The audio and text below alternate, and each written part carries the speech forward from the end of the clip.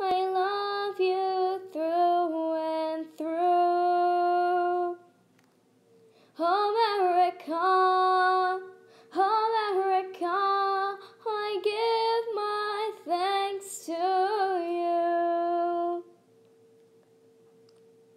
I'm proud to be American, I'm proud to live in the USA, proud to be American, and that is why you hear. quand